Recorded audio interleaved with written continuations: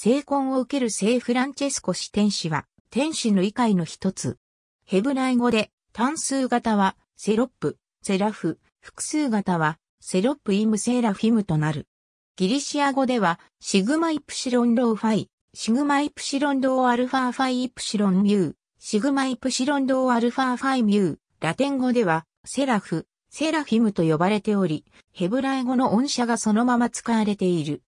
ニセディオニシウス・アレオパギタが定めた天使の9階級のうち最上とされている。3対6枚の翼を持ち、2つで頭を、2つで体を隠し、残り2つの翼で羽ばたく。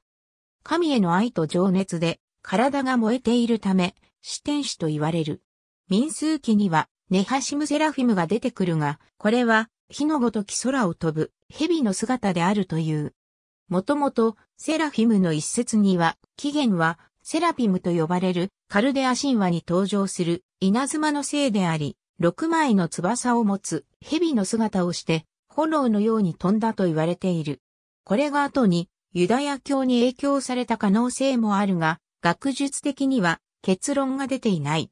神の御前にいるとされるラファエル、ウリエル、ミカエル、ガブリエルの四大天使は、ニセディオニシウス・ワレオパギタが定めた天使の9階級の内科から2番目の階級の大天使と記されているが、イギリスの詩人ジョン・ミルトンの失楽園では、この四大天使は四天使として扱われている。また、悪魔の王となったルシファーも、打点する以前は最上級の四天使であったとされている。